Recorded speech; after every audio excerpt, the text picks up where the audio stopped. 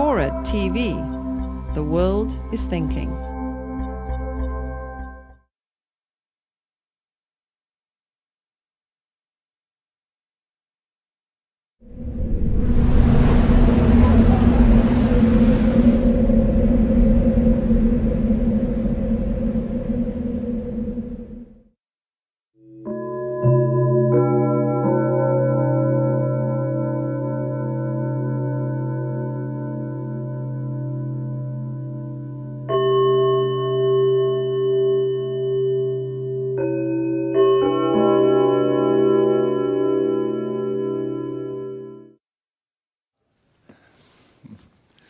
Good evening.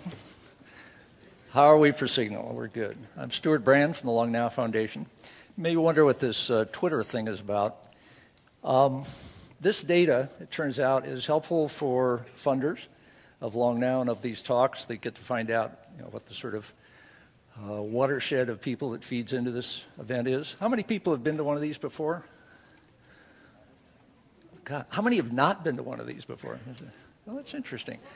Um, the drill on these things is uh, this is for questions on the back. Put your name on it and uh, look for somebody in a yellow hat like mine. Pass it over to them. It comes up to the front. Kevin Kelly combs through for the stuff that'll really embarrass the speaker, and I will hit him with it.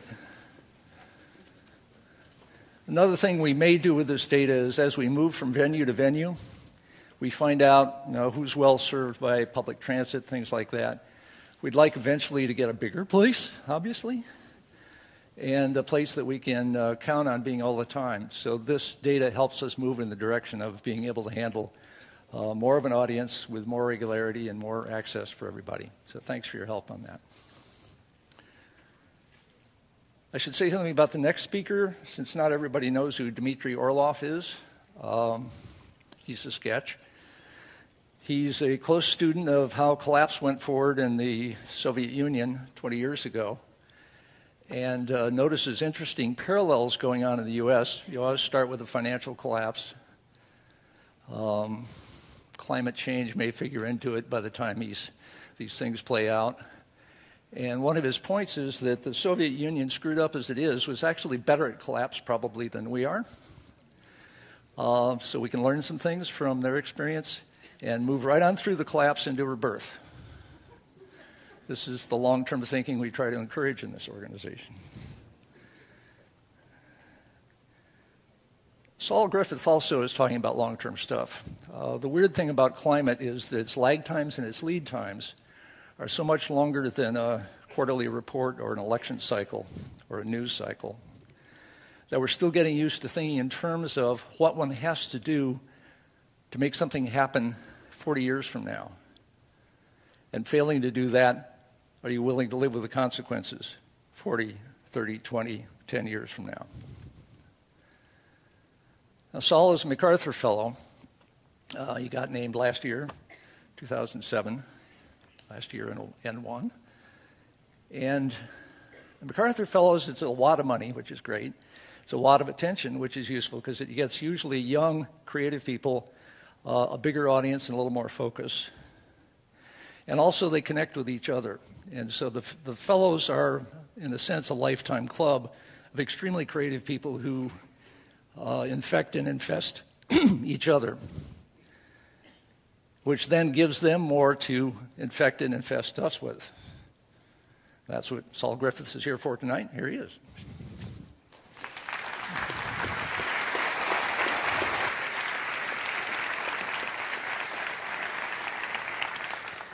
Uh, thank you, Stewart. Um, so I'm super excited because this is the first time I've ever sold out a house, I think. Uh, so I, I, hope they indeed. And I hope desperately to neither infect nor infest you tonight. Um, climate change recalculated is the topic of t- my talk tonight. Um, now, I'm not going to try and tell you that everyone's equations and all the science is wrong, and if you recalculate it, you're going to get a great result. The recalculation I'm talking about is the type of recalculation that will help you answer questions of this kind. Do you prefer a glass of wine every evening, or do you prefer to have an annual business trip? Would you prefer your taxes spent on schools or roads? Would you prefer a hot shower every day, or would you like to eat meat at every evening meal? Um, so they, they will turn out to be surprisingly relevant questions by the time we get to the end of the talk. So you've obviously heard about climate change. That's probably why you're here. You have heard about the concept of carbon footprints. Um, you've certainly heard about energy independence, and we'll hear more and more. But let's look at these things as though we're sort of reconciling the short term us, the us that are sitting here in the audience, with the 10,000 future of us, or the 10,000 year of uh, our our children's children's children's children or something. Um, hopefully, doing that, and so it, when the talk is called Climate Change Recalculated, it should be maybe re envisioned through a very personal view. Um, hopefully, we will now answer two questions How do your personal actions affect climate? And given that, can there actually be a global solution for climate change? Um, which is another way to say you're going to see a big pile of numbers to show you that climate change and, and energy issues are actually really an aesthetic issue. It's really a question of what is a quality life and uh, what is the life that we all sort of want to live. So you're going to see two stories tonight the, the global big picture. How much of all the different types of energy are there? How can you use them? Which ones are good? Which ones are not so good? Um, but to set the context for that, and I used to just give the talk exclusively about that very big, cold picture of the planet as a, as a physicist would see it. Um, and people would say that's a very cold picture that a physicist paints. And so I put myself in the picture, and so you'll, get the, you'll, you'll learn more about my personal life today than you probably want to know. Uh, and why? It's because probably about 18 months ago, in order to sort of uh, understand my context in this picture, I decided to ask this question How much power do I use as an individual?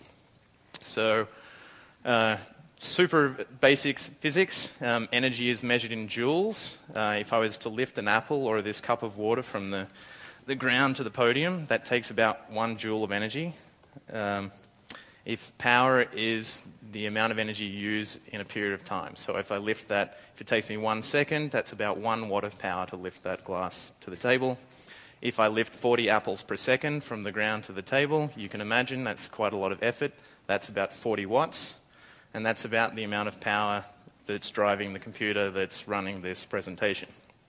So these numbers are going to, a lot of you probably know this, but for those who don't, I'm just trying to give you some, some uh, intuition for the, the lots of numbers that are going to come afterwards.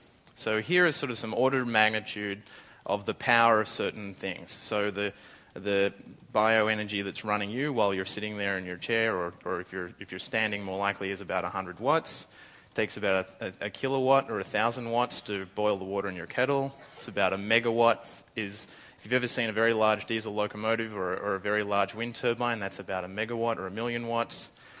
It gets very hard to imagine power of, of, of, larger sizes than that. So maybe you've stood at the, the edge of Hoover Dam and you've been awed by the power of the water. That's about a gigawatt. In fact, it's two gigawatts of power.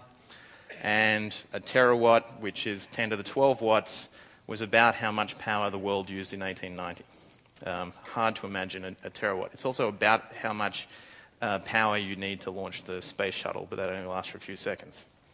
Um, so I'm going to, if, you, if you're still struggling for an intuition about power, I'm going to tell you about my lifestyle, and you, and you can imagine my lifestyle and consequently your own in terms of the number of light bulbs that are burning uh, at any instant when you're talking. Normally, I stand in front of the slides here. I know I wasn't meant to walk out of the, the light.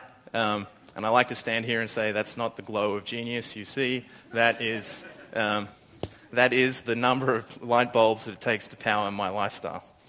Um, so, why watts? So, the convenient, why would you use power as a unit instead of energy? Because uh, we hear about an energy problem. Why watts? The, the couple of good things about watts watts allows you to compare activities you do on different timescales. So, you can compare the things that you do yearly, like flying a certain number of miles, to the things you do monthly, like paying your electricity bill, to things you do daily, like drink uh, bottled water or energy drinks.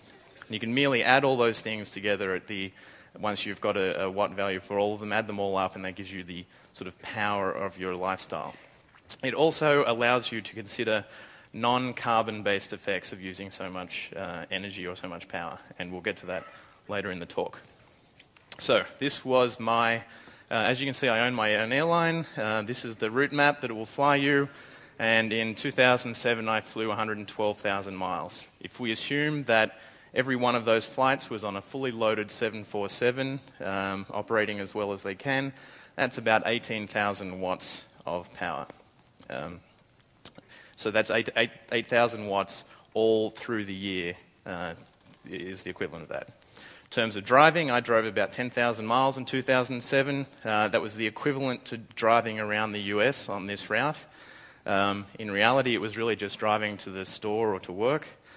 The first four and a half thousand miles were driving from San Francisco to uh, New York via Atlanta in a Honda Insight, a hybrid, 55 miles per gallon. Jumped in a cab from New York to Boston, uh, rented a car, you know, one of the big rental cars from Boston to Key West, up to Jacksonville in a, in a van, a diesel van. The only safe way, obviously, to go across the southwest is in a uh, truck. And um, once I got to Tucson, I jumped in my vintage uh, 1959 Volkswagen dune buggy and uh, enjoyed Highway 1 all the way to San Francisco. So 10,000 miles is, is less. The average American drives 15,000 miles a year. And in reality, all of the car, the majority of the cars that I drove in are much more efficient than the average American car. So I drove less miles in more efficient cars, and it was still 1,500 watts. For the average American, that value could be two and a half or 3,000 watts. Uh, I live in a small standalone house in the Mission. It's two bedrooms. I share it with my wife. My half of the gas bill and the electricity bill in watts is about 625 watts. You can see here that I can I can break out the hot shower I have every day, the gas that we use for cooking. I can even sort of single out the electric toothbrush and the, the fridge and uh, phone chargers using these sort of wall uh, measuring devices for power. So 625 watts there.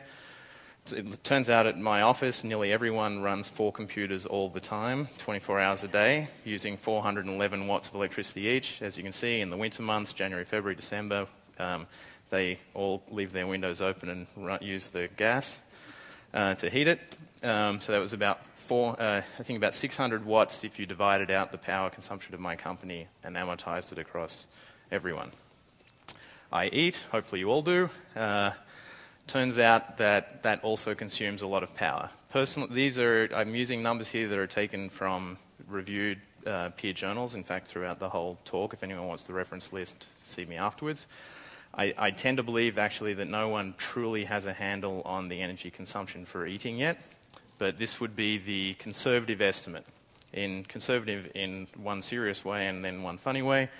Um, the funny conservatism is uh, that this assumes that I only drink two glasses of wine a night and that that is equivalent to 76 watts of power. There was a, there's a funny guy, he's quite a serious guy actually. He runs a blog for wine aficionados called Dr. Vino. He did a study of the carbon footprint or the energy consumed to deliver wine anywhere in the world. Turns out if you live on this side of a line roughly between Chicago and New Orleans, it's more energetically favorable to drink wines from, uh, from Sonoma County. And if you live in New York, you should drink French Bordeaux. Um, so, more reasons to live in New York like you needed them. Um,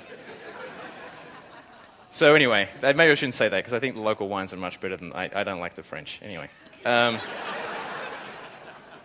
so, uh, obviously, I eat more meat, and, or I used to eat more meat and fish than I should, and that is the majority of the power consumed in my life. And everyone's probably aware that to create a, a, pound of meat, you have to feed it a lot of grain, and so it's a pretty inefficient way to get your calories.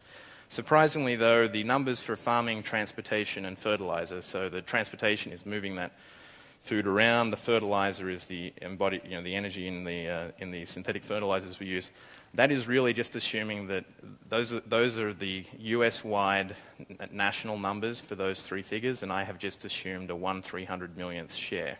Um, very likely, I have a, probably a, better diet, a more expensive diet than most people in the country, so this is almost certainly an underestimate. Uh, speaking of taking 1 300 millionth shares, you also pay taxes. Your taxes get spent in um, all sorts of different ways. So the, a number of government departments publish their use of fuel and electricity. And if, you, if I took my 1 300th millionth share of the US military's uh, aviation gas and diesel uh, uh, bill, it's about 94 watts. To keep all the silos warm, it's about 50 watts. The US government, just to run all of its buildings, is about 18 watts. And your 1 300 millionth of NASA, share of NASA is 1 watt of power. Hopefully, there's some NASA people here. I would happily give them more of my watts. Um, get us out of here. Uh, and then the US Postal Service uses a little. This does not take into account all of the energy that's embodied in the roads, in the actual steel that makes the tanks, etc., etc., and we'll come to that later. I also own an awful lot of stuff. You can now see everything that I own. Um, and so this comes to the issue of embodied energy. So in every uh, any item you own, it weighs something, and that and it, it's made out of a material. We know how much energy it takes to make those materials. If you do very conservative assumptions for all of your objects, you can figure out, and you know how long those objects last. You can figure out how much power they use. Um, I own 11 bicycles, so that little bicycle thing is not one, but 11. But because my bicycles last 20 years and bicycles don't weigh very much, it's not a very big piece of my pie. Um, you can see the cars, my uh, Honda or my wife's Honda Insight that I sort of share, and then a vintage Toyota pickup and a very vintage Volkswagen. That's the red section. Um, surprisingly, uh, if you look at this and you think, okay, if I was to reduce the energy use of my life, where should it come from? You go after the big pieces. You find some interesting things. So very big objects that weigh a lot, even if they last a long time, use a lot of energy. So your house, the, your cars, your boats. Um, the other unusual things for me are new, things that you get very regularly, like the newspaper or um, detergent or washing powder or uh, toothpaste. Because you just get them regularly, that, that's quite a large portion of your uh, power. And then the green section at the bottom is my furniture. I think yellow is toothpaste, detergent, washing powder. The purple section you should be thankful for because that means I'm not standing before you naked. That's all my belts and shoes and clothes. And um, the purple section, I can't remember, I'm sorry. Um, the difference between this slide and this slide is that Kirk Von Rohr, the designer who's hopefully sitting in the audience, did this slide, and I did this slide. Um, Kirk is amazing. If you ever have an opportunity to work with Kirk Von Rohr, you should. Um, so this is actually my entire life. So 17,000 watts. You'll notice later in the talk that actually my, my new estimate is 18,000 watts. It's because you keep forgetting that you do things that use power. Um, that big blue green area in the top right hand corner is your tax dollars at work. Um, and part of that goes to in all of the energy that you saw previously for the diesel, etc. But a lot of it is in unusual things like, for example, if you did conservative assumptions of how much energy is embodied in all of the road infrastructure in the United States, uh, and you divide it by everyone and you assume that all those roads last 40 years, the embodied energy in the road infrastructure is about 330 watts, or 2 or 3% of the average American's power consumption. Obviously, the biggest, well, everything on the left hand side is basically my flying. Um, you can see my driving there, so I, I, won't beat this to death, but you can, you can in, it is in fact possible to understand how all your energy is used. So that was just me. Um, this is me and my lady friend. Uh, you probably went to a high school with about a thousand people the same way I did. You can imagine a thousand people. You live in a city order of magnitude, a million people. You can sort of imagine a million people. You have no chance of imagining a billion people. And that's a really long and awkward segue into the demographics of energy use. So you would say, Saul, you used 18,000 watts. Uh, is that a lot or a little? So you can actually use gross national data to get a per capita power consumption by country for every country in the world. United States typically likes to think it's number one at anything, at everything. Unfortunately, it's number 10 um, behind Canada, which are Americans who live somewhere colder. Um, I think I managed to offend 90% of the audience in one sentence. I'm quite proud of that. Um, and then you know, so there are some unusual things. You know, in Kuwait and Bahrain and Qatar, they basically uh, burn oil to do air conditioning all the time. So those people are pretty high.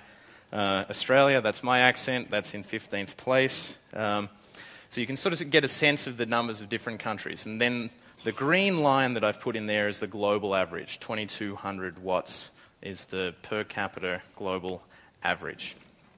Uh, we might come back to this slide later. But so the 18,000 watts I use really shocked me. I thought I'm a bicycle commuting uh, guy who runs a renewable energy company in hippie San Francisco. I, I must be better than the average American. Uh, turns out I use about twice as much power as the average American. Uh, so it was a little surprising, and doing this process is incredibly illuminating for you. You can look at the historical increase in power consumption by country. Um, this is one of my graphics, not Kirk's. And I tried to put the, the, the, maps in and I lost. This is interesting. Um, uh, I sort of, yeah, you know, I couldn't, I couldn't get all the little tiny ones. Um, but so America has, is, is, increasing, but not that rapidly compared to things like China and Russia, which you can see up there, and India. Um, one of the most interesting things about this graphic is the big discontinuity in around 19, you know, just before 1990, and that is the Soviet Union changing into lots of smaller countries. So this is maybe only interesting politically. Um, how did the world make all of its energy and use it grossly in 2007? These are International Energy Agency numbers. Uh, the majority of it was in producing electricity. You can break down how we made that electricity by fuel type, and you can see the, the, the, um, the scale there. Transportation was nearly all oil, that was in second place. Uh, you can sort of change these buckets around to mean different things, but it sort of gives you a pretty good gross sense of how we use energy globally. So, what's the result of using all of that energy? It has led to this problem. This graph has been made by people who can fill every audience that they speak to. Um, and it's going up. So, this is the CO2 concentration as measured in Mauna Loa, uh, uh, a mountaintop in Hawaii, and you can see the um, you can see the seasonal variation, and you can see that we're now, it's, uh, this data is, I think uh, the last data point I have is uh, 2003. I think we're now up to about 387 uh, parts per million. Um, so you'd say, well, who put all that uh, carbon into the atmosphere? I find this a particularly interesting uh, aspect of the demographics. So you can, you can sum the cumulative CO2 emissions from fossil fuel burning for every country in the world, for all those that have kept statistics, and it tells you this. Of all of the carbon that's in the atmosphere, 90 gigametric tons or billion metric tons of it was the United States, so happily they're at number one position again. Um, in number two, it's Russia. Number three is China. Number four is Germany. Um, you have to do some pretty weird political remapping of the data because Germany changed hands so many times in the 200 year data set. Uh, etc., etc. But basically, the first six or seven countries there have produced 90 to 95 percent of the carbon uh, in, the, in the atmosphere. So, in terms of who is responsible for solving this problem, the evidence is fairly damning, and I don't think it leaves you any choice but to figure out who should act first and fastest. Um, so, let's think about all that carbon. This is a, this is a very, very cartoony look at, at where all the carbon in the world is. Um, there is around about 700 gigatons of carbon in the atmosphere. Uh, we put another 8 gigatons of carbon. This is not carbon dioxide, but carbon. If you want carbon dioxide numbers, just multiply everything by 4.4. Um, we put 8 billion tons of carbon in the atmosphere every year. The oceans reabsorb about 2 billion tons of that. We know how much uh, carbon is in all the soils in the world. It's about 3,000 billion tons. There's 40,000 billion tons, uh, 40,000 billion tons of carbon remaining in the oceans. Both of those numbers are reassuring because there's so much there. There's a chance that we can take some of the carbon in the atmosphere and actually drive it back there.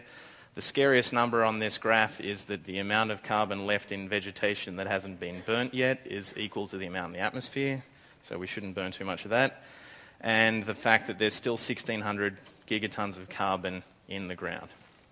Uh, of the carbon that we burn into the atmosphere, around about 55% seems to stay and linger there, and that's why you don't sort of get 8 minus 2 is 6 going into the atmosphere. You sort of end up sort of ratcheting up by a couple of billion tons uh, per year right now. That, uh, those carbon flows have resulted in this problem. These, this is the best graphic I have seen to very, um, very visually represent the temperature rises globally over the past 25 years.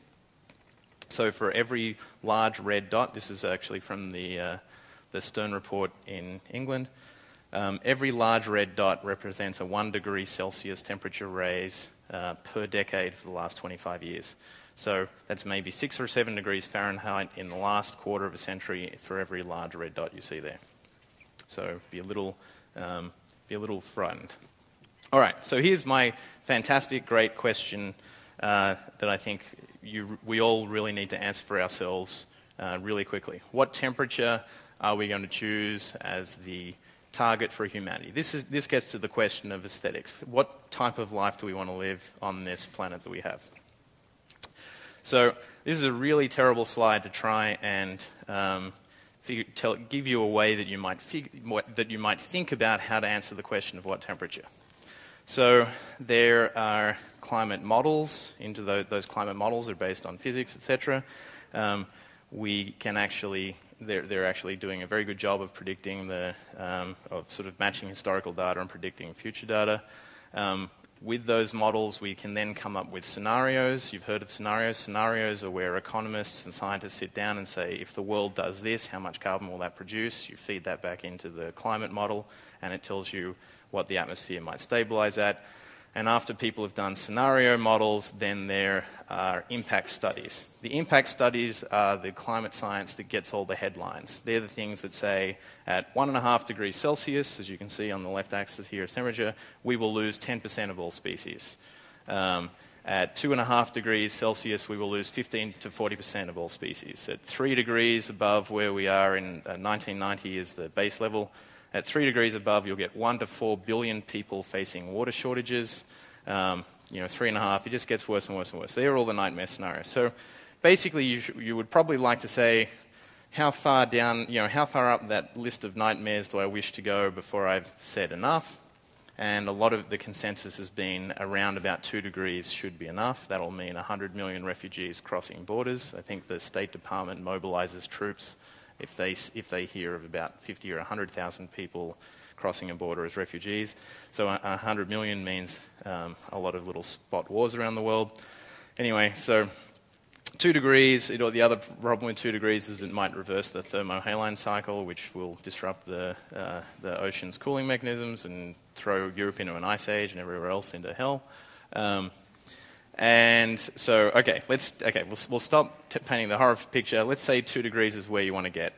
So there's, the consensus is if we hit a target of 450 parts per million, um, you've got about a 30% chance of staying below two degrees. So you could argue that let's shoot for two degrees because 450 sounds achievable, and let's cross our fingers and hope that if we hit 450, it really is only two degrees. Um, but to give you an idea of how long I've been giving this talk, which is about a year, um, the really encouraging thing to me is a year ago it was scandalous to say 450 parts per million because everyone was like, that's impossible, that's too low. The consensus was 550. But fortunately, uh, Jim Hansen has been out, Jim Hansen from NASA, being America's leading climate scientist, and he has managed to get into the public dialogue that 350 parts per million is the correct um, answer. He has a much better way of arguing for 350 than I did in the last slide, arguing for 450. He says humanity evolved in a world that had always less than 350. If you want to have any world that looks like what we evolved in, let's stay below that. I think that's probably pretty, pretty wise words. But let's go back to 450 and assume that's what we're going for, and we're going to accept 2 degree temperature rise. What do you have to do? One way of thinking about it is you've kind of got to balance this equation. You've got to have about the same amount of carbon going into the atmosphere every year as is being sucked down into the oceans. This is still not a rosy picture because if you're putting that carbon in the oceans, you're increasing ocean acidity, and uh, that has bad effects on fisheries and coral and all the rest. But still, cross your fingers, this is a better picture than um, just going off the charts. That's not an entirely, you know, again, this is a Kirk slide, this is a Saul slide. Um, the, that's not in, what I've just presented to you is not entirely an accurate picture because really with carbon dioxide going in the atmosphere, it's more about um, it's about how much carbon, carbon we can burn uh, anymore, right? And so this is sort of a, this is actually a guy called Jeff Koomey did this work in the 80s. This is 20 years old. This was a very simple model that is largely still valid for um, understanding what effects putting uh, a billion tons of carbon into the atmosphere has on the um, parts per million concentration of CO2. So if you put a billion tons of carbon in the atmosphere, you get about 0.26 increase in, in the atmospheric concentration. Or if you make one terawatt of power for one year, Using coal, it increases the parts per million by 0.2. For oil, you can see at 0.15, and gas is better at fossil fuel again, about 0.11. So we're at about 380, 390. We've got about 60 parts per million to go to get to 450. That means you've got about 400 terawatt years of fossil fuel burning. 400 terawatt years is a measure of energy. It just sounds like power. Um, what does that really mean? That means you've got about 40 years of 10 terawatts of fossil fuel burning, or about 20 years at 20 terawatts um, to stop at 450. All right. So I'm now I've sort of tried to ask a question. Okay, if we've got to stay, you know, if we've got to get the carbon going into the atmosphere down to one or two gigatons, how much power could humanity get? Turns out you know, we've chosen two degrees, we're shooting for 450, we understand where the equilibrium point will be. You'll only get two to three terawatts of power from carbon fuels um, to drive humanity if you want to stabilize at 450.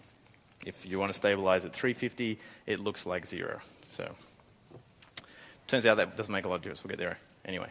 So, hopefully, you're now asking yourself, well, how much power does humanity use? Um, turns out we use quite a lot. Uh, some people say we use 18 terawatts. That's because they count all of the uh, plant matter in the world and its various uses agriculturally and, and in, in burning um, for cooking, etc. If you ask the International Energy Agency, they'll say it's 15 or 16 terawatts because they pretty much count the, the, the, the more traditional fossil fuel sources. I guess more recently traditional, um, to be correct. All right, how do we use it? This is how the world uses its power in terawatts. All right. So that's obviously not going to last 10,000 years. So I've told you we can only really burn 2 to 3 terawatts worth of fuel if we want to stabilize at 450 and have that sort of aesthetic of world. And this is telling us we want 16 terawatts to power humanity. So that's not going to last. What are, the, what are the other options? So how can we produce this 16 terawatts of power for humanity um, without putting too much carbon into the atmosphere? This is the only slide that you need to remember in my talk. This tells you, this is basically the playbook for humanity. So, um, in the top there, we have 85,000 terawatts of sun coming in. So, that's the amount of power in solar energy that's hitting the surface of the Earth at any instant. You've probably heard of numbers of 170,000 terawatts. That's what hits the outer atmosphere. That's the principal input. We also get a little bit of input from space in the, in the form of tidal energy from the moon. So as the moon goes around the Earth and makes the, the oceans lift up and lift down, that's tidal energy. The scary thing about that is if, you, if we built a 100% efficient tidal machine, it would, and we, we flattened all of the tides so they no longer went up and down, you'd only be powering one fifth of humanity today. So it's not going to scale. Similarly, with coastal waves, um, if you put a 100% efficient wave collector around every coastline in the world, you're only going to get about one, uh, one fifth or one sixth of humanity's power supply. So when someone submits you a business plan for wave power and says wave power will save the world, you say wave power might save some cities in Northern California and the Bay of Fundy, but it doesn't scale to humanity.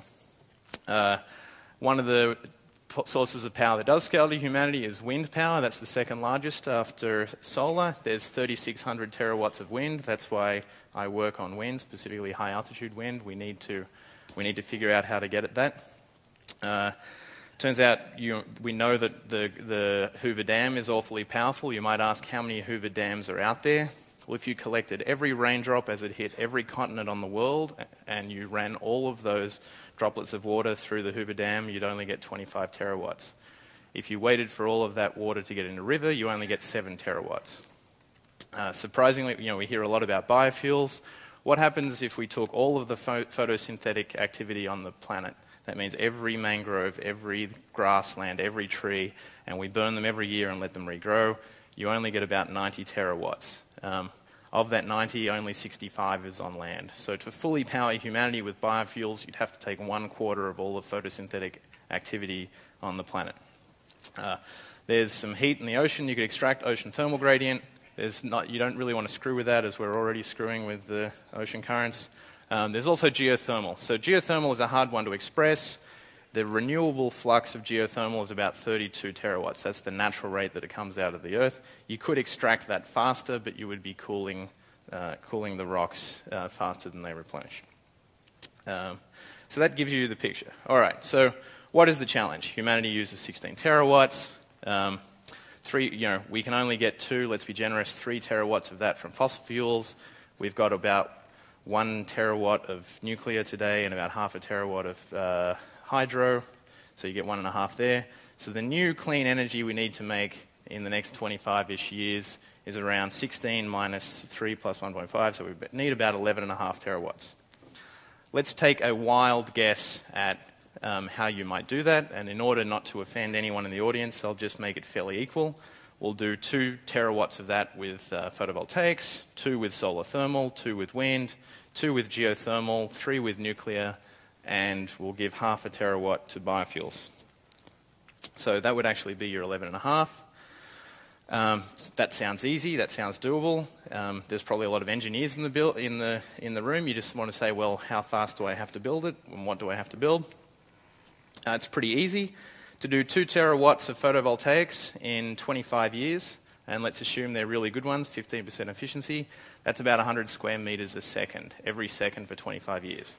So that's probably every five seconds you've got to cover this auditorium with solar cells. That gives you 2 terawatts out of your 11.5. For solar thermal, you can get 30% efficiency uh, if they're well sited. That's where you take a mirror and you, you heat up a, a pool of, uh, of water or preferably a molten salt, um, and then you use that heat to, to drive uh, generators, uh, steam or, or otherwise. Um, you'd need to make 50, you'd need to install 50 square meters of mirrors every second for the next 25 years. Um, in terms of wind turbines, uh, you'd need to build 12 3 megawatt wind turbines every hour. So a 3 megawatt wind turbine is the largest wind turbine you've ever seen. It's about the size of this whole building. Um, in diameter, it's about 100 meters in diameter. So basically, or, you, the other way to express that is roughly one every five or six minutes. Uh, terms to get your three terawatts of nuclear power, this is to be ambivalent about the political aspects of that you need to do one 3 gigawatt nuclear plant every week for the next 25 years. I think the US has eight or 10 uh, slated for approval in the next decade. So we're just a little behind schedule. Um, but I am sure we'll pick it up with the Obama administration. Uh, all right, geothermal. Um, Two terawatts of geothermal. That's basically 300 megawatt steam turbines every day for the next 25 years. So a 100 megawatt steam turbine is probably the size of this room, but it's more, it looks more like stainless steel. Um, and this is not counting the holes that you have to drill to do that. All right, and just for kicks, let's get our last half terawatt of biofuels so we can fly jets. Um, it's an Olympic swimming pool of genetically engineered algae that's four times more efficient than the best genetically engineered biofuel we have today. So we're being a little ambitious technologically, but assume we get that. Um, and you need to fill one of those Olympic swimming pools every second for the next 25 years. Then someone will say, but cement's really bad because cement, we know that cement produces a lot of carbon. Let's not use that. So let's not make swimming pools. Why don't we just fill in a natural land formation? Turns out this would be Wyoming, I think. um, so, I yeah, I didn't mean to pick on any of the Wyoming people. Like it just as easily said um, New Zealand. yeah. Uh, all right. So then you'd say, okay, that's pretty scary. Those sound like really big numbers. Is that at all possible industrially? Or another way to phrase that is, what should Detroit actually do? Uh, all right. Well, this is not really the Detroit question. This is, don't tell Coca Cola, but this is the killer business plan for the 21st century. Uh, so Americans drink 110 billion cans of soda every year, aluminum cans. If you cut all of those aluminum cans in half and you flatten them out and you polish them nicely as aluminum can, you made them into mirrors, that represents 200 gigawatts of solar thermal capacity every year. So, Coca Cola is going to return to its original business plan of selling you really concentrated packets of sugar. Um, then they don't have to ship the aluminum around and they're just going to take their reserve aluminum capacity and in 10 years Coke and Pepsi will make two terawatts of solar thermal. That's awesome. Problem solved. Uh, Nokia, again, I think when I first made this slide, Nokia, in fact, only made nine phones every second. I think they got to 12. I suspect next year it will be not 12. Um, Nokia, Intel, AMD, Apple, if you took all of them in their industrial plant, they can probably do, that's roughly the scale to do the sort of the, the photovoltaics required.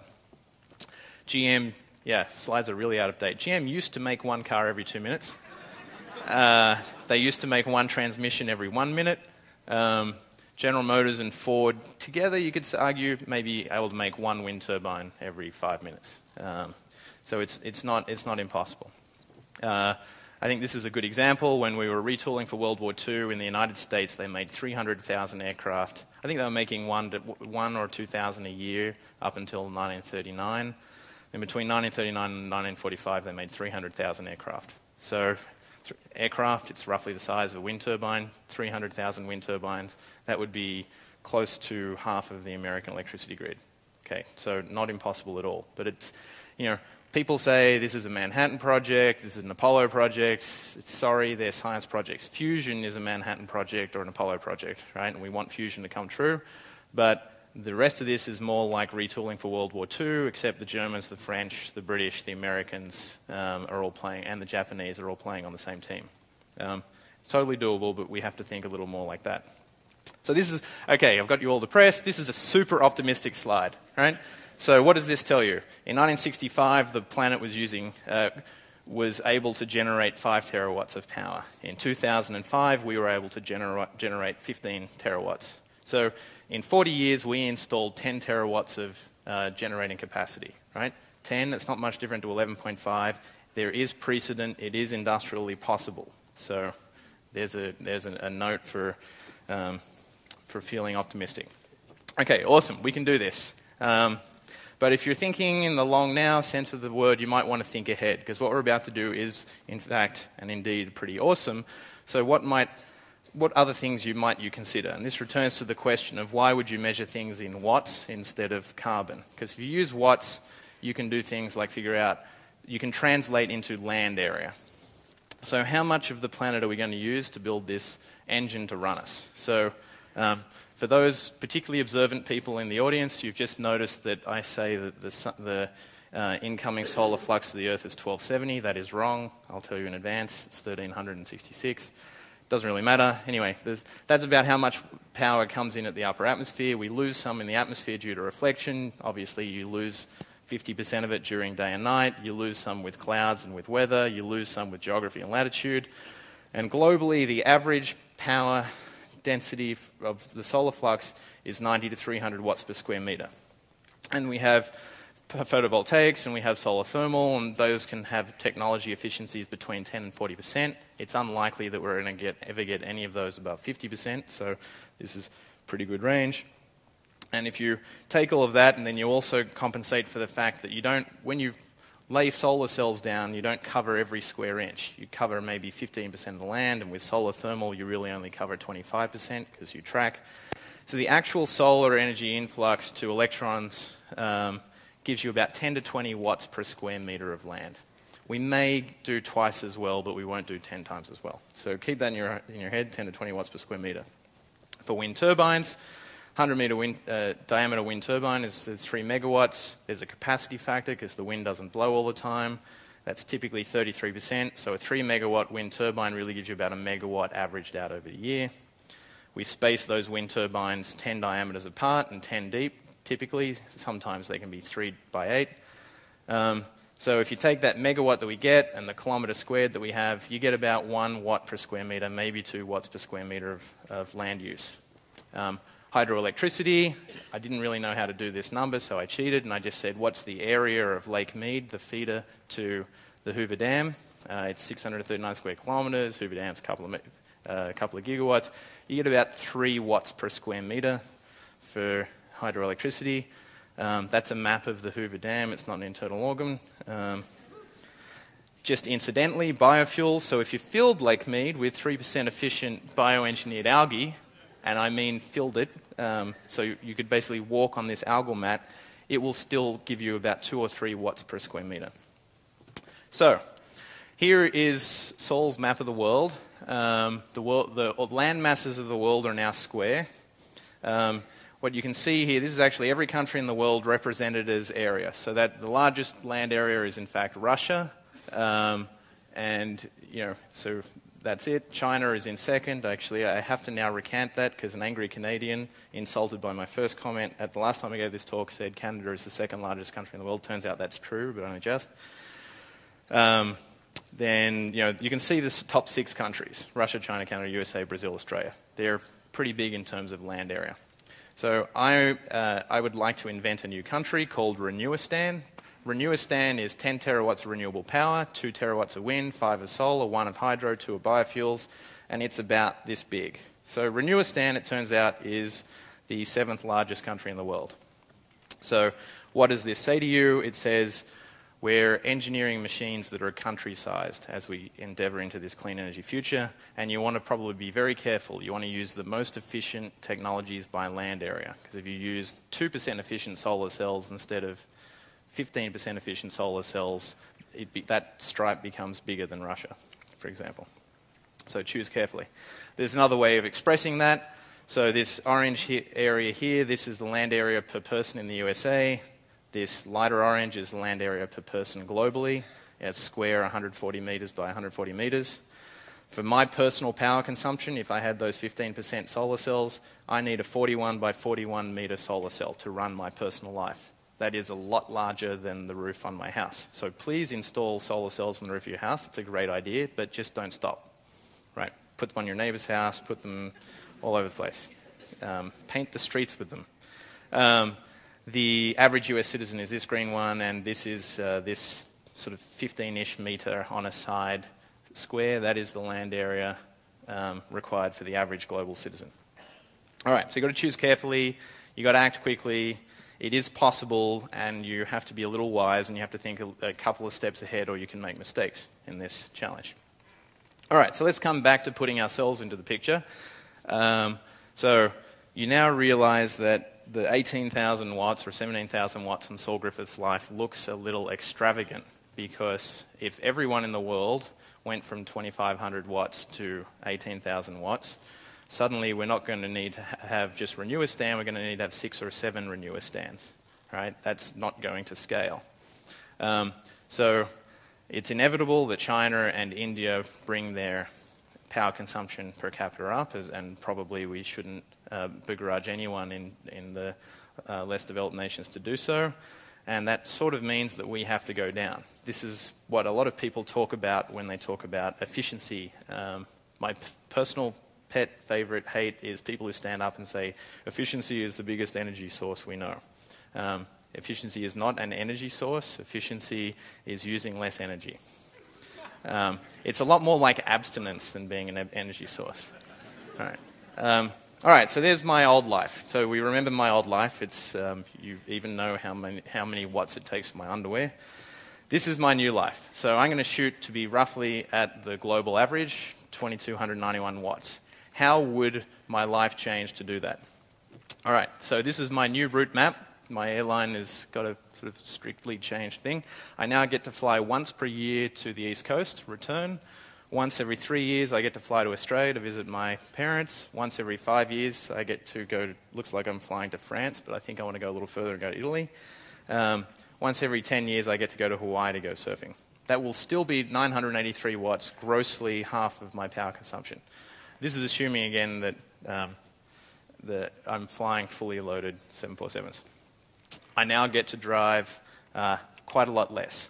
Six times a year, I get to drive to Sebastopol in a 55 mile per gallon Honda. Um, twice, a, twice a month, I get to drive the same 55 mile per gallon car to Alameda, where I work. Both times, I'm going to be carpooling. Once a month, I'm carpooling in a, in a van with four people to, uh, to go visit, looks like Google. And then um, twice a year, I get to take my dune buggy out to go surfing. Now, obviously, you know that I'm lying because those of you who know me will will know that I'll go to Sebastopol twice a year to see my in laws and go surfing six times.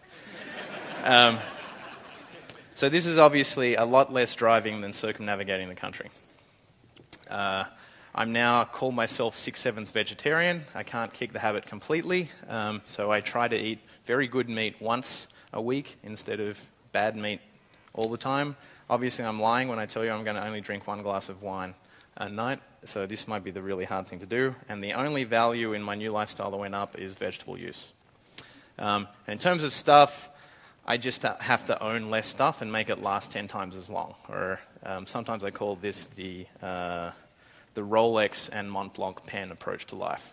So that just, sound, that just made me sound like a pretentious wanker. I'm, I'm really not. I'm a deep green environmentalist, and what you want is when your child is born, or when you are born, to be issued with a Rolex and a Montblanc pen, and that's the only writing implement, the only timepiece you get for your whole life. Right?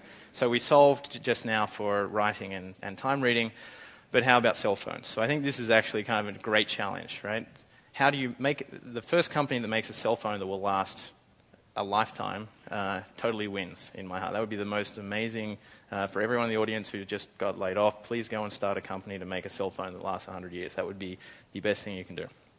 Um, all right, I'm not sure why that slide's there. Oh, that was a point about. Um, oh, okay. Now, this is every business model you need for the next century pick any piece of that pie, do it with one tenth the amount of power, or make something that's ten, that will last 10 times longer, and you've just done your bit to save the world. You, this is when people talk about the green economy, you know, a quarter of the energy we use is just in our crap.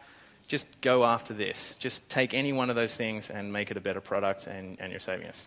Um, ironically, we used to have drinks in the fridge at my energy company called energy drinks.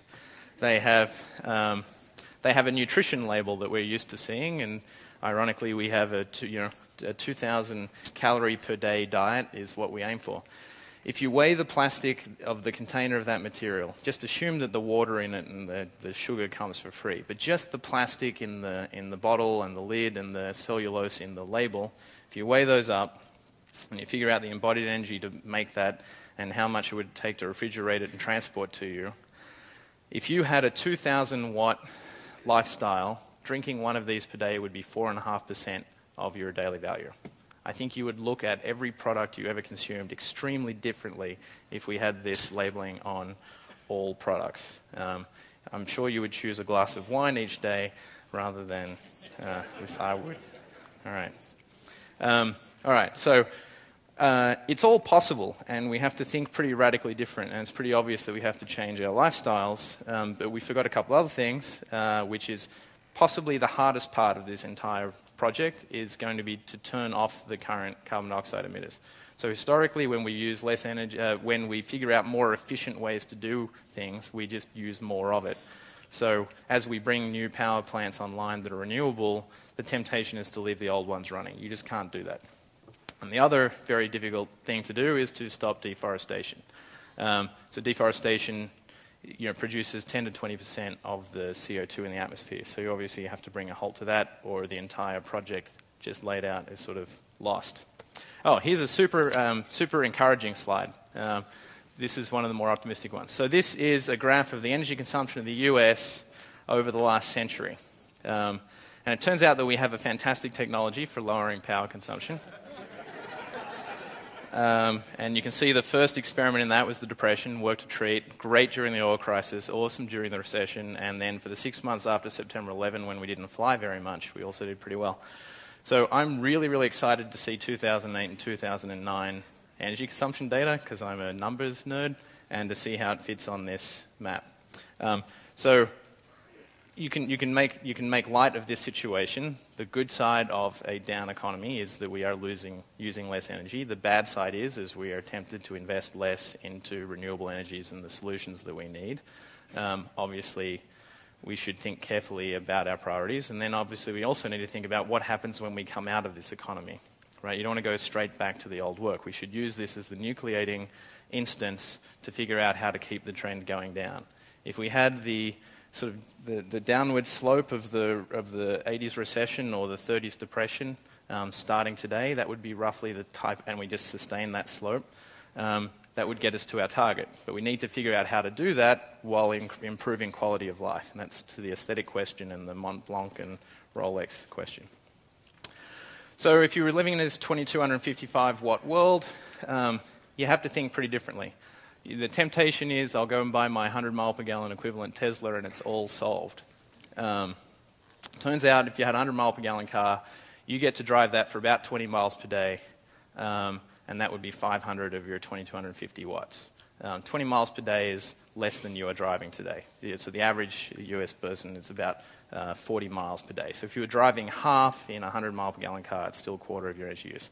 So, you know, that makes me think twice about that. Um, and is 100 miles per gallon really ambitious enough? This is the Citroën Deux Chevaux. Um, uh, the French president went to Boulanger, who was the designer for a Citroën, and said in 1932, Can you design me a car that will carry four peasants to market plus their eggs? It has to drive over an unploughed field, has to do 60 kilometres an hour, and it should get, uh, he expressed it, three litres per 100 kilometres.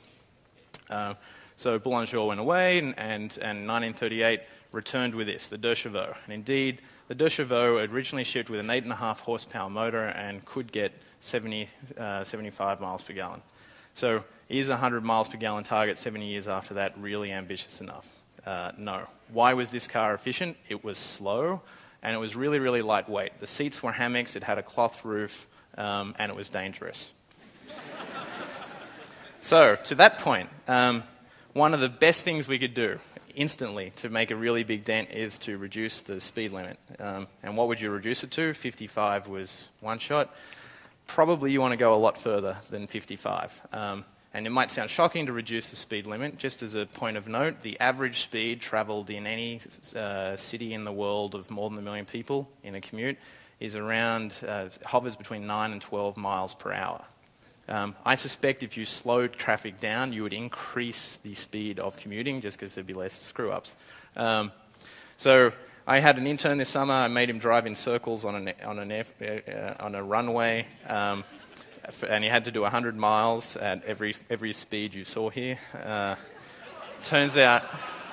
Um, the funnier aspect of this story is, uh, is uh, it, was the, it was three days, but he'd been there all summer and just wrote boring code all summer, and he was like a code writing robot. And three days before the end of summer, I wanted this data point, and I went to him and said, um, I'd really like you to do something that's a little ridiculous. And he says, Well, I've been really hoping that I got to do something ridiculous. You don't want to go back to school without a stupid story. And I said, I want you to drive in circles for three days. He says, Awesome. And, and he says, I, I learnt to drive stick last night. Um, which this makes my wife, who's in the audience, nervous because it's her car and it's stick. And uh, anyway, so with, as he bunny hopped out of the, the driveway, yeah, so we had to remove the first few data points. Anyway, so the optimum, optimum speed to drive a, uh, this particular car is about 30 miles per hour, and you get 85, 90 mile, uh, 85-ish miles per gallon. So I think lowering speed limit, that's the point there. Or do this, even better do this. I think electric motor scooters, uh, that's the other thing. If you're not making cell phones that last, last 100 years, please make electric motor scooters. Um, all right, so you might ask me, okay, Saul, for a year now you've known all this data and you're trying to reduce the power consumption in your life. How did you do? Well, I did about 17 or 18,000 watts of power in 2007. I think this year I will use about 12,000. Uh, and my life has only improved so far. So I'm eating less and definitely more healthily. I'm exercising more, doing more commuting by bicycle. I'm spending more time with my family by sort of traveling less. Uh, finding that living closer together with your friends and, and, and work people certainly helps. Um, I'm doing a lot less business travel, which is great. Business travel actually sucks. Uh, higher quality, better designed products. It's a really nice filter on your purchasing consumer self to just say, I will only buy good things because you can't afford many. Um, and so that's totally working for me. Uh, less junk in my house. The house is cleaner because there's less crap. Um, and you, you know, hopefully, if we're all doing this, we're breathing cleaner air and drinking cleaner water. So I think there is a reasonable argument to say that we can have much higher quality lives while we sort of hit um, the goals we want here. The one thing I didn't mention here is I could have really reduced my power consumption for 2008 by another three or 4,000 watts if I stopped paying taxes. Uh, now, who knows how well we, you know, the US government uh, apportions the tax dollars, but I suspect if I were um, running the show, I wouldn't spend the power on behalf of the citizens it is now, and it's a fairly serious point that we actually should be lobbying government to use the power that it uses on our behalf a lot better than it actually does. And roughly, imagine what portion of your salary that you pay in taxes, that's grossly the portion of the energy that the government decides on your behalf. Uh, so finish with the obligatory photo of the world. Um, Oh, okay. No, that's for later. Um, all right, so that's it, and I guess there's going to be hard questions. Yeah. Thank you.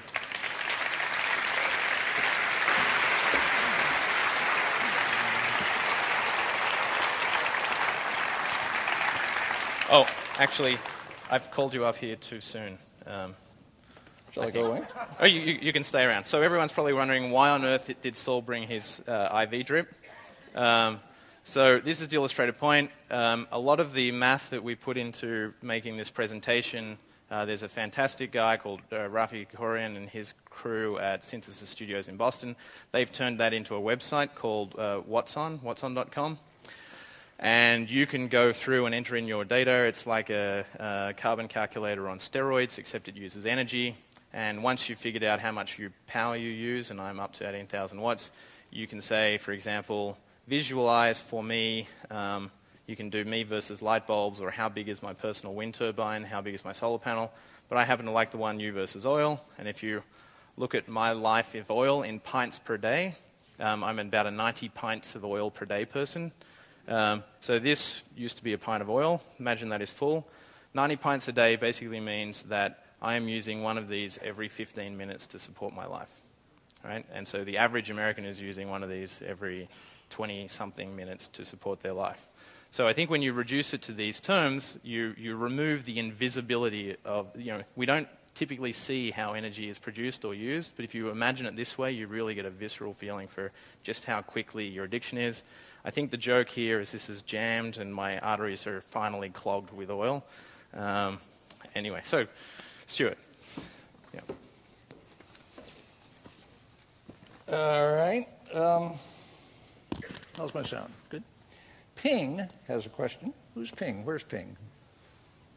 Waving back there. How would high altitude wind, this is a chance for your plug, enhanced geothermal and nuclear measure up in your watts per square meter, and where does it fit in uh, Renewistan? Um, high altitude wind will be a, little higher power density than traditional wind, um, maybe as high as solar. So I think you want to use that. Um, when I made this presentation, I wanted to say we have to start today, so I'm only using technologies that are ready to go. Um, hopefully that's ready to go next year, in which case um, you can add that to the list, and I think we need to use every resource possible. Uh, enhanced geothermal. Um, it's hard to know how you measure enhanced geothermal in terms of land use because it's under land. Mm-hmm. so maybe this is the, the, a great argument in favor of enhanced geothermal. I think there's a great argument in favor of all of them, full tilt, let's go. Um, but I'm not, I actually, if anyone in the audience who thinks more deeply about geothermal than I do, haha, um, then, uh, then tell me how we convert that into a watts per square meter of land. And for nuclear, again, um, I don't, I'm not sure how you measure it in, in, in power density. Um, I will use that as a segue and a distraction to tell you that I tried to buy a gas station in Los Angeles. You would ask me why. Um, the, I think it was the CEO of Chevron used to give this example of the, how glorious fossil fuels were. And if you measure the power density of gasoline as it's coming out of the nozzle of the thing that goes into your car, um, it's astounding. It beats all renewables by a factor of 1,000 or 10,000 or something. If you try and buy a gas station in Los Angeles, when they're trying to sell it to you, they tell you how many gallons of gas it pumps per month if you take that amount of energy and you divide it by the land area required for the gas station, not the nozzle, it's about the same as solar power. So, how you do the numbers and statistics can obviously change the way you think about it. So, not working for Chevron, let's be a little more uh, fair with the, the, the, what, the, what the reference area is. Yeah. Here's a question from Paul Hawken. We'll pursue this. Paul, where are you? Greetings. Are there any Promethean technologies that you favor or are interested in? Do you think they will be deployed? This again is looking at technologies coming at us. Um, I, okay, is the question actually is there a get out of jail free technology? Get out of jail less expensively than what you've said so far. Okay. Um, I really have racked my brains on this one. I am. I think if you assume that physics is as we know it, the answer is somewhat no. And certainly you don't have 25 years to develop it, so that's also an argument for a no. I think the get out of jail free card for humanity is fusion. We have consistently reduced the investment in fusion. That's the put atoms together, not split them apart form of nuclear power. We've been reducing funding for fusion for year over year for the last few decades. That's just not um, viable. Uh, actually, Jim McBride, who's in the audience, who helped me with a lot of the math and all the slides, he has a friend who is a solar physicist who studies fusion for the sun. And he says, Oh, well, if you just give me $2 billion, I can do my research project on solar flares and give you fusion for free. So, fusion. take it. Uh, the, the, the, consensus among physicists is not impossible. It won't be easy and it will take some time, but we should be doing that. I think that's the closest we have to a Promethean technology. I find it very hard to imagine. We're not going to double the solar power density. Um, when, you know, existing photovoltaics get to 40%, I think the thermodynamic limit for photocells will, might be 79% or something. Uh, the best wind turbines today operate at about 51% extraction efficiency. The theoretical upper limit is 59.6. We're kind of pretty close. We're actually doing pretty well on most things. So there's not a lot of super way out there um, stuff. I think the question might be, are any of them going to be really, really cheaper? And we're all working on that. But it's pretty hard to beat Coal's business model, which is you drive a truck up to a hill, scrape it into the truck, and burn it. Mm-hmm. So that's what we're shooting for. Okay, here's a uh, question from, it looks like uh, Adrian Cover, Counter. Greetings. What about carbon sequestration, carbon offsets, biochar, all these things that might draw carbon from the atmosphere, uh, just go directly at the problem? Uh, a year ago, I would have said, let's not even talk about it, mm-hmm. because I don't find any of them terribly palatable. I don't, uh, biochar, the, the, the results are still out. The reality is, for all of these things, the results are out. Um, carbon offsets, the result is in. Uh, offsetting does nothing. Um, uh, if, if, you, if you want my opinion on the matter, go to cheatoffset.com. Uh, does anyone know this? Cheat, uh, cheatneutral.com. Yeah, so it's basically a conversation. But uh, anyway, go to cheatneutral.com. You'll get my opinion on, on carbon offsets. Um, but on uh, on biochar, the numbers aren't in yet. It's not proven that we can do to scale um, carbon sequestration. Uh, I think we should run those experiments as soon as possible. It'll cost about $6 billion to put them on half a dozen coal plants and really see if it works. We should have done that yesterday. That looks like a better spend of money than $700 billion on a few banks. Um, so, you know, we, we have to, what we don't know about these technologies and their capacity, we should find out next week. Uh, James Lovelock refers to carbon offsets as indulgences. Yes. Max Marmer. How come so many people are investing in renewable sources of energy that will have little impact on humanity's energy portfolio? Do you know something they don't, or are they just stubborn? Uh, which ones? So, hey, Max, I know Max. um, do you mean wave and tidal type things? Uh, I don't. I think proportionally there isn't that much money going into those things. Um, deep ocean waves are there's 60 terawatts in deep ocean. So if you go after deep ocean waves, maybe it is a, a, a better idea. It's there's then a, a challenge of um, transporting all of that uh, and the transmission lines. Uh, so I, am not sure that proportionally the investment isn't terribly well matched to roughly how the um, the, the portfolio you'd, you'd, want to invest in is, except maybe for biofuels, which I think uh, has a wildly disproportionate investment compared to its capacity to solve the problem. Yeah. Kevin Kelly, who's right here, says, let's say in 50 years you were wrong. I hope I am. You'll still be around, I won't. Uh, you missed something. Uh, and things are not so bad. This is uh, the up scale wrong. There's a down scale wrong, which would be worth talking about too. Um, what part of your calculations are you least confident about? Uh, to play to what I know you would like to talk about, I'm also interested in are there any negative feedbacks in the climate models that we don't know about that are maybe going to help us out? Um, and what I mean by negative feedback is do the oceans do something nonlinear at 410 parts per million that starts sucking more carbon out of the atmosphere? Um, do we, so could something like that happen? Uh, I think that's the biggest hope that these numbers are grossly, grossly wrong. Um, on the energy production side, uh, it's a little hard to see any glare. I haven't, I've talked to a lot of very smart people on, on every energy. We haven't really found a horrifying, like order of magnitude error anywhere. So um, fingers crossed there is a negative feedback. But no, uh, we've been looking now for 10 years and no one's found a great one. Yeah. Are you tracking on uh, geoengineering schemes and any of them appeal to you?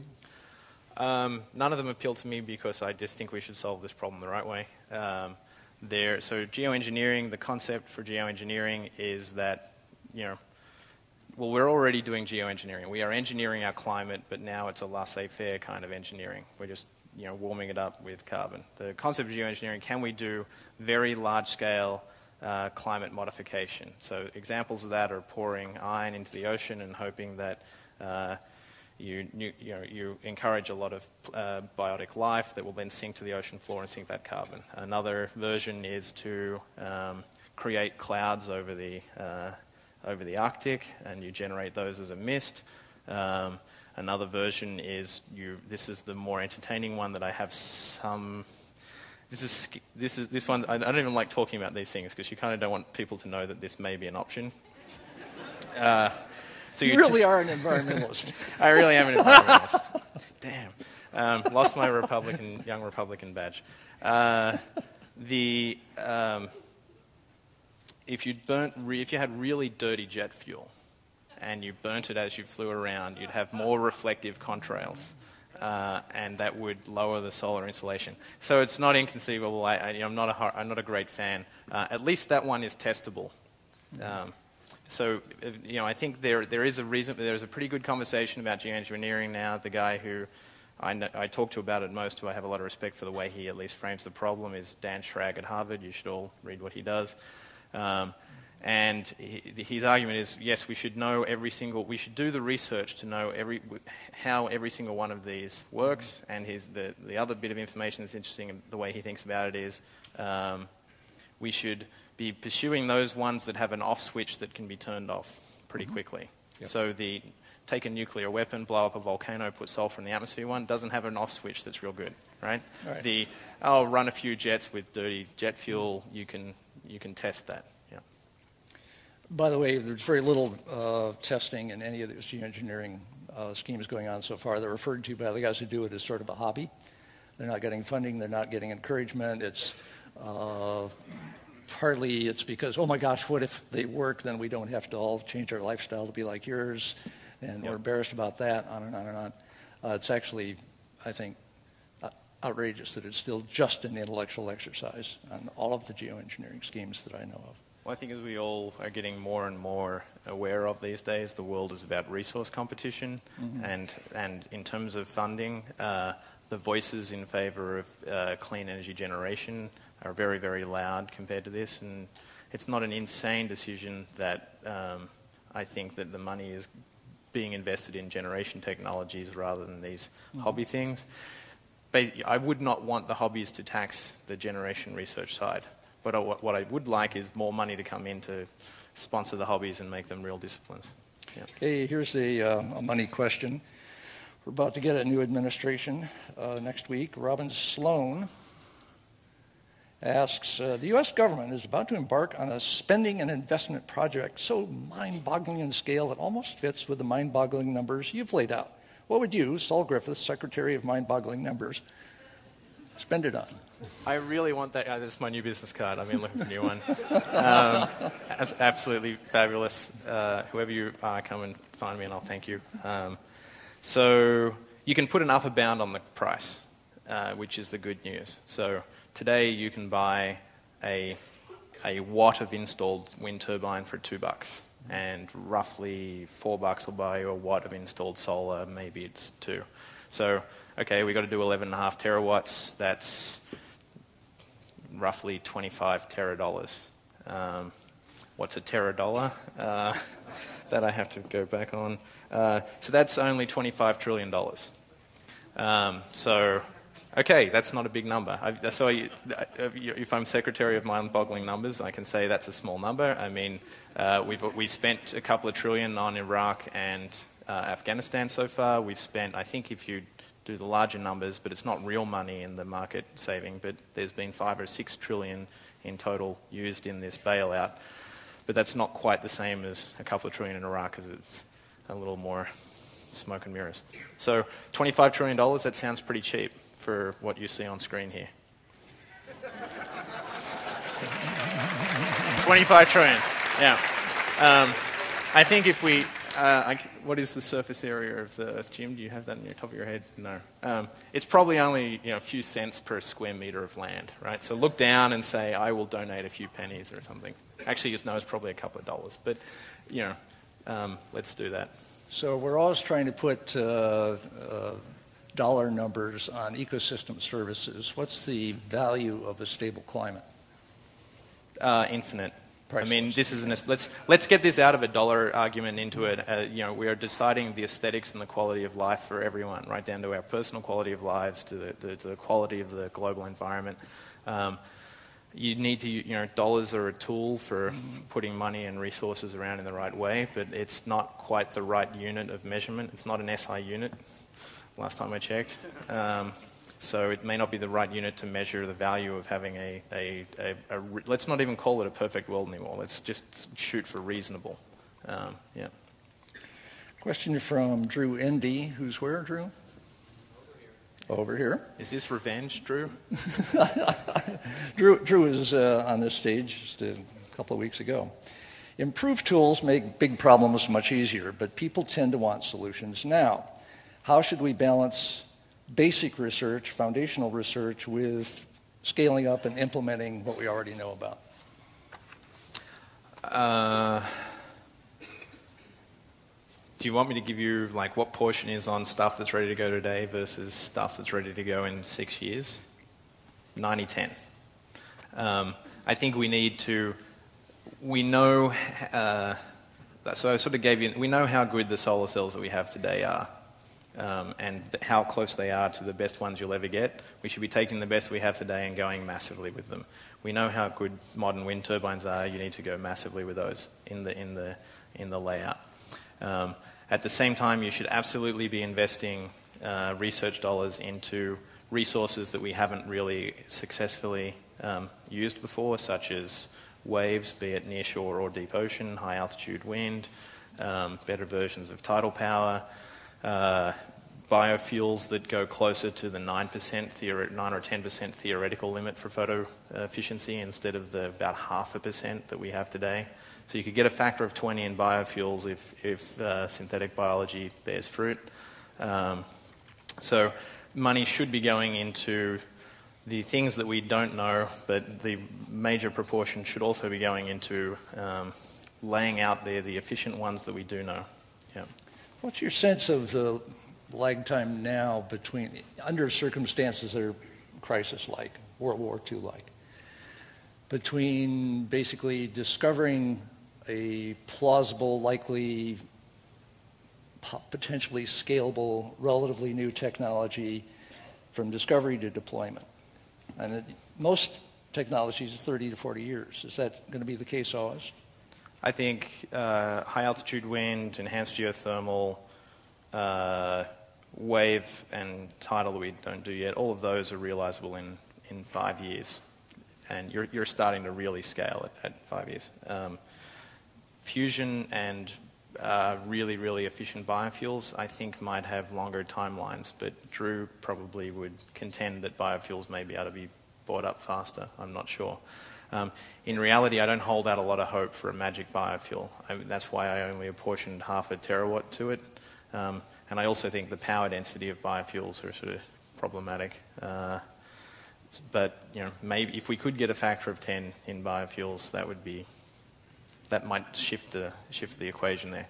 But there are a few that I just think are. Um, the, the problem is it's a disappointingly small list, actually, is the real problem with that. There aren't that many that we don't know that aren't that good. Yeah. When I asked you a while back, sort of, do you have hope? And you said you had hope in terms of, yeah, we could do it. uh, humanity has uh, technology and the chops, and maybe the uh, once they figure out what's really going on, uh, the desire.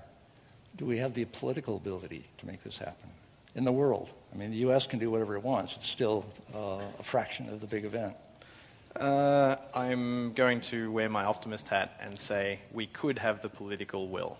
We absolutely don't today, but today is so markedly different than two years ago. The fact that we ratcheted from 650 to 350 parts per million, and that is now the lingua franca. I mean, Al Gore was, uh, was standing up and not being mocked when he said the new target is 350 in Poznan uh, a couple of weeks ago.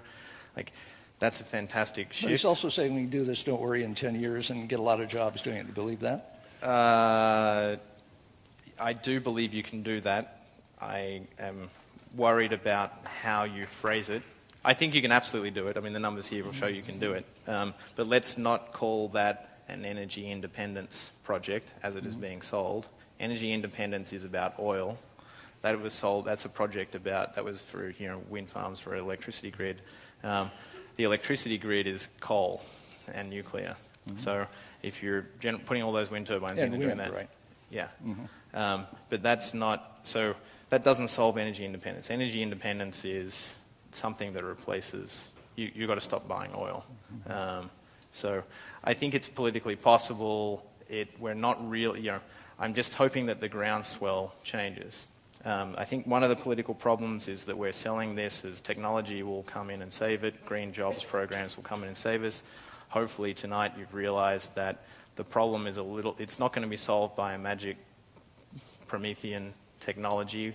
We will have to use energy far more wisely I suspect that more and more people who start to change their lifestyles to reflect this because they personally want the right end outcome will become exactly the right types of political lobbyists to make politics get to where, we, where it has to be. And I think that can happen surprisingly quickly. So, everyone, sign up for a 2200 watt life and lobby you hard.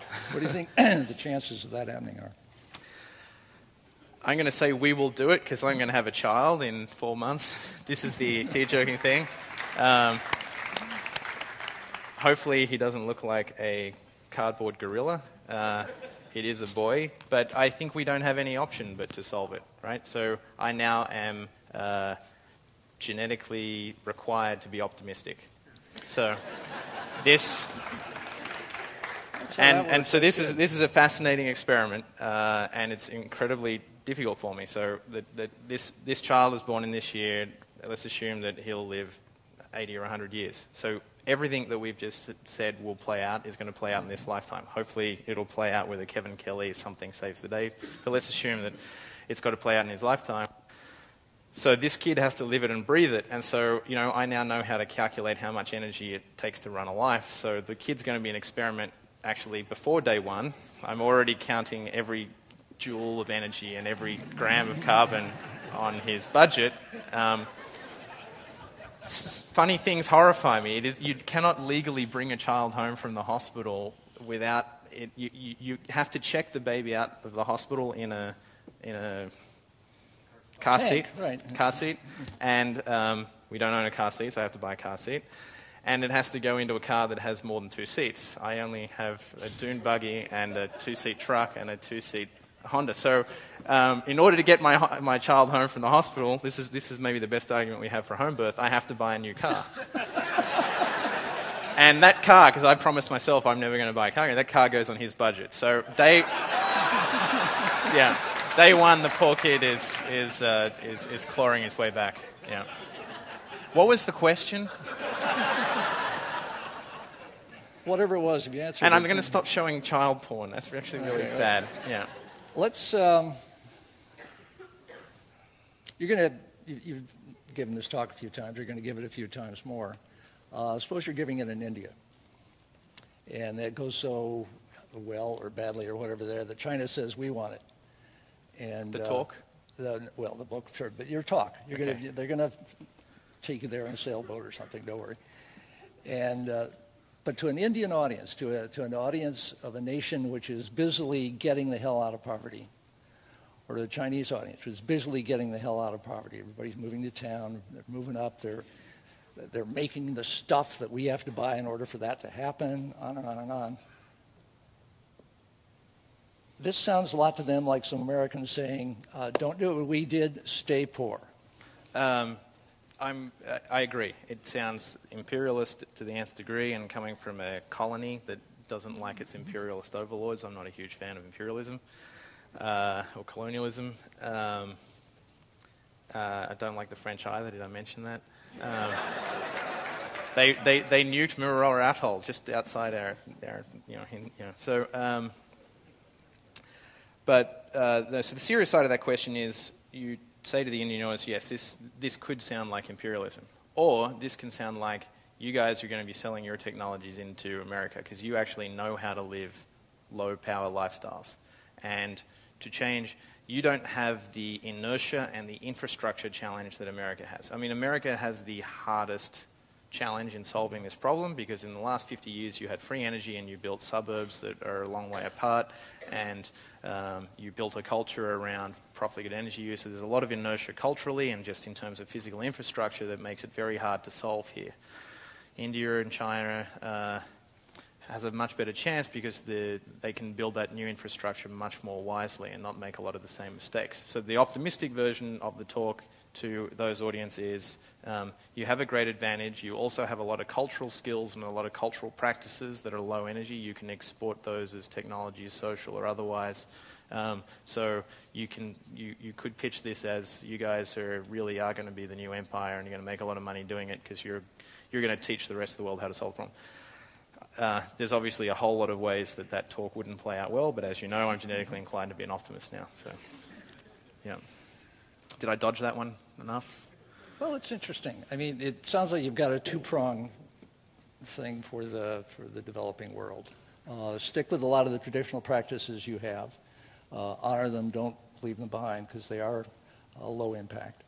Uh, at the same time, uh, you did amazingly in leapfrogging to cell phones, new technologies that are relatively uh, efficiency producing, light on the land, all the rest of it. Yep. Uh, and they could lead the world in showing what are the right technologies to leapfrog to uh, that do have these lower impacts. Oh, okay, I'm going to try another answer. All right, so you, you, another way to, to sell this appropriately, um, and another reason to think about American lifestyles more carefully. Um, so imagine you lower the speed limit to 30 miles per hour, right? People will drive.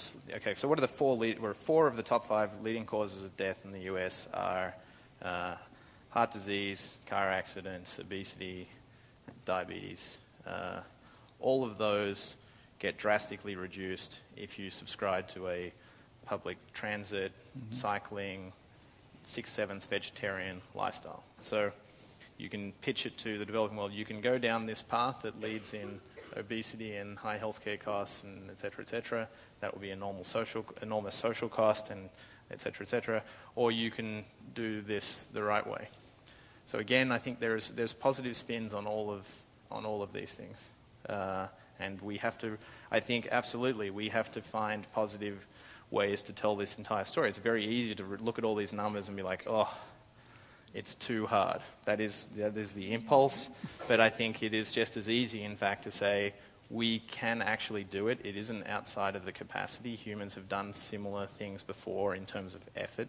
Um, we did it for the wrong reasons, like World War II and other industrial efforts.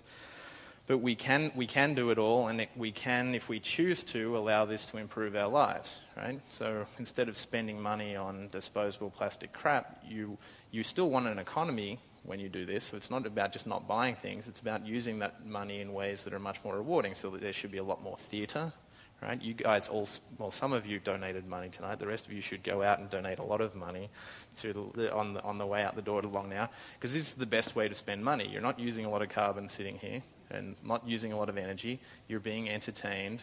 So there can be a much more vibrant community about, around things that you maintain and repair, high quality craftsmanship, around cultural events. Um, that's the low energy way to spend money. Again, I forgot what the original question was. Uh, it's you struggling to stay optimistic. Oh, that's right. Yeah. uh, last question. The some behavior changes with talks like this. or slideshows like Al Gore's and movies like Al Gore's. Mostly behavior, behavior changes with events in the world. And one can imagine a good news event, uh, a sense that, wow, you know, something or other worked, it is reversing the thing, uh, you know, maybe we'll feel good about financial decline for a while. Um, more typically, behavior changes around a bad event or, or more effectively a sequence of two or preferably three bad events, which are interpreted the same way. So when we had 35,000 people die in 2003 in the summer in Europe from a, what everybody thought was an unusual heat wave, it went by. Nobody, as far as I know, uh, thought that was something serious. Katrina, maybe, but you know, it's a maybe thing. We always had hurricanes. We'll always have hurricanes. Was it climate? Wasn't it? Do you have a sense of what good news or bad news would change behavior? Uh, on the good, I'm not sure what good news event changes behavior.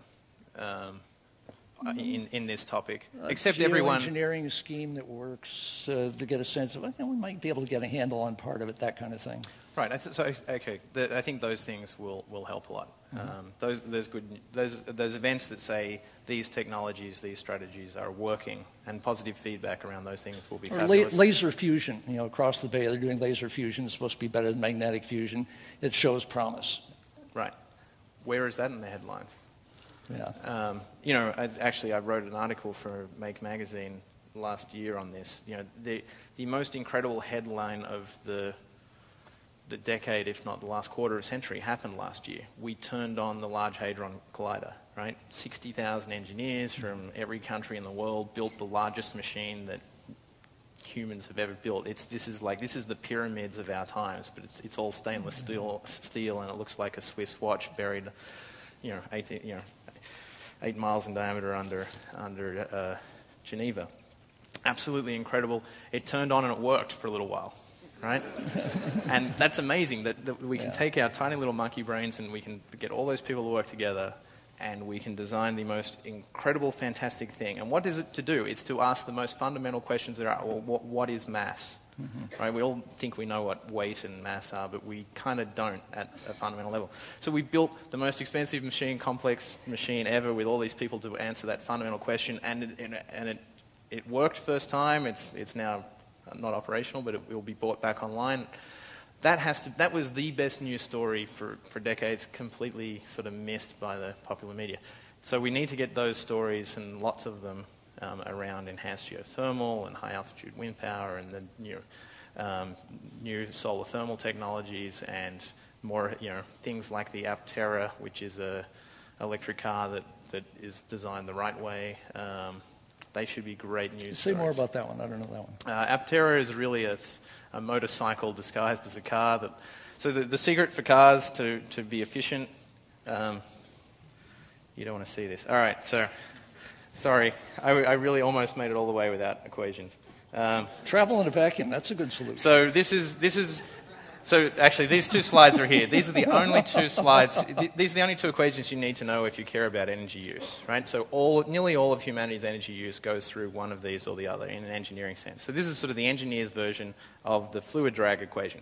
So the amount of power it takes to push something through a fluid is proportional half of the density of the fluid that's running through times the drag coefficient, that's the purple one, times the reference area, that's the blue A, times the velocity V cubed, right? So you want to lower, you want to increase. That, that, cube is the killer, right? The cube is the killer. So the very first thing you do is take the cube and you make things go slow. This is why you go to 30 mile per hour speed limits and increase the speed that you get across the city. Um, but you also make things fish shaped. The Aptera is fish shaped. You make the reference area small, its reference area small. It doesn't travel in a vacuum, unfortunately, but that one's kind of hard to work. Um, and, you know, it's not, it's if we not cook off car. our atmosphere, actually, yeah. it'll be the norm. Yeah. So, you know, I think there's a lot of good news stories out there, and we really should celebrate them. Um, then to the second half of your question. All right, so bad news uh, stories. I'm trying to be an optimist. So there's going to be, there could be some I, you know, I've played out all sorts of dark scenarios. When you look at all these numbers, you go through every possible emotion. You, you're, you're elated, you're depressed, you're all sorts of things. So I've, I've, had plenty of time to think about bad scenarios. Mm. So all of the water that feeds into Pakistan comes through the Indus that runs through India. All of that water, in turn, is glacial melt from the Himalayas. So global warming heats up, less glacial melt flowing into India. India takes its share. There's nothing left for Pakistan. Um, Pakistan is nuclear armed, India is nuclear armed, China's siding with Pakistan, America's siding with India. We can all get pretty creative about how this one ends. That will look like you know the clash of civilizations or whatever people want to call it. That's a climate change problem.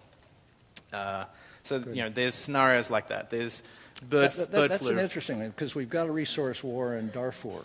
We don't think of it in those terms. There's Yeah. sort of one in the East between Palestine and, and Israel. But that would really be a resource war. It's really clear that the water coming off the Himalayan plateau is being uh, turned off by the guys upstream. Yeah.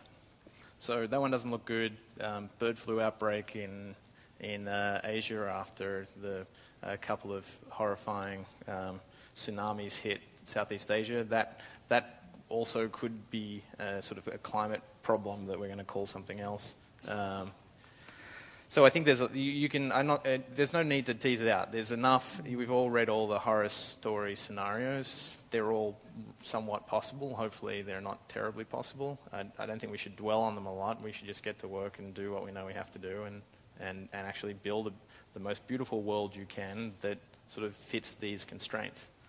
Um, I, I used to say in this, in sort of some version of this talk, you know, how did we end up here? Um, so I think the the problem was, you know, we figured out that the world the world was uh, round, right? While ever the world was flat, Spherical.